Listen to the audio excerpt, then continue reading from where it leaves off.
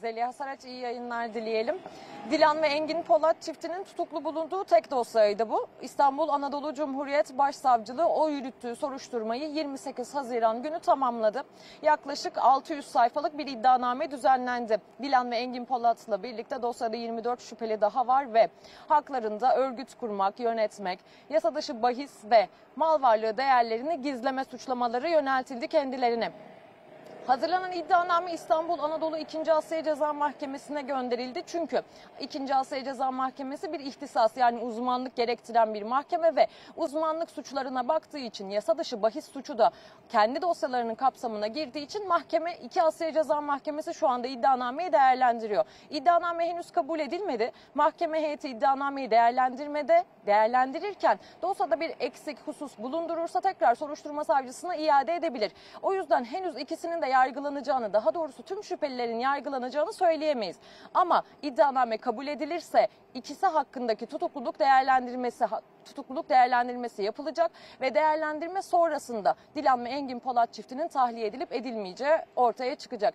İddianamede şöyle bir detay var. Mali suçlarla mücadele kurulu bir rapor düzenledi ve bu rapor uzun süredir bekleniyordu. Çünkü soruşturmada Dilan ve Engin Polat çiftinin sahibi olduğu 27 farklı şirket vardı ve bu şirketlerde sahte fatura düzenlendiği, para giriş çıkışlarının olağanüstü olduğu ve bu para giriş çıkışlarının açıklanamadığı vardı. Vergi kaçırdığı iddiaları vardı. Bu iddialarla ilgili bir rapor düzenledi Mali Araştırma Kurulu. Bu rapor sonrası zaten iddianame düzenlendi dediğimiz gibi.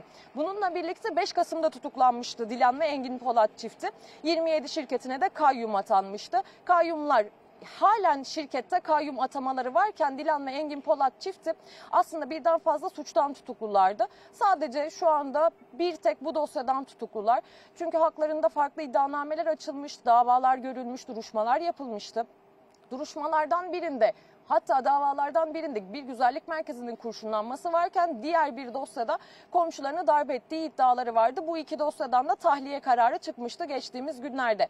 O yüzden şu anda bu Anadolu Cumhuriyet Başsavcılığı'nın yürüttüğü soruşturma sonundaki iddianame kabul edilirse Dilan ve Engin Polat çiftinin tahliye edilmesi söz konusu olabilir. Ama iddianame kabul edilmeyip soruşturma savcısına iade edilirse tutukluluk hallerine devam kararı verilecektir. Ben kameraman arkadaşım Ramazan Gürsel Tuna ile birlikte gelişmeleri takip edip sizlere aktarmayı sürdüreceğim Zeliha Saraç.